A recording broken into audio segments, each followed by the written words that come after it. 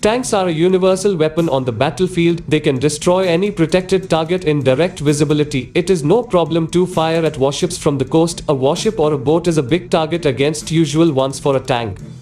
The Russian armed forces have boosted their defenses in the vulnerable Kuril Islands, the easternmost islands of the mainland coasts bordering Japan. According to reports, Moscow is poised to deploy their latest T-72B-3 tanks at the islands to strengthen their defense against a possible but unlikely invasion from Japan. It was also reported that the first batch of tanks have already been delivered to the area and according to the Defense Ministry, the total rearmament and training would be completed within 1 to 2 years. The crews trained on simulators in summer and tested the tanks in autumn. T-72B-3 drivers competed in cross-country terrain. They had to overcome minefields, a treadway bridge, anti-tank ditches, ascents and descents. The track was 6 kilometers long. All the crews coped with the missions. Together with motorized rifles and air defense, the tanks can push an amphibious assault back to the sea. T-72B-3 is a modern tank with improved characteristics. Its firepower, protection, and controls are much better than T-72B.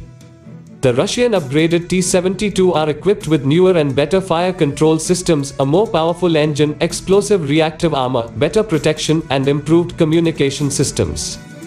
Even the upgraded T-72B3 have recently arrived from their factory have received, the combat vehicles have received a new powerful engine, an advanced fire control system, a rear view camera and the driver mechanics display complex. In a similar move, India had also upgraded its T-72 tanks with an upgrade package naming it the Combat Improved Ajeya, which is installed with new generation ERA and protection systems along with better FCS stabilizing systems and better engines.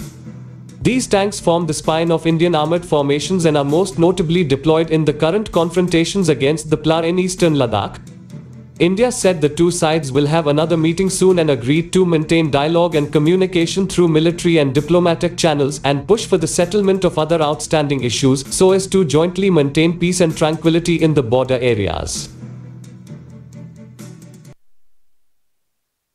For more and daily news updates subscribe to our channel. Stay home and stay safe.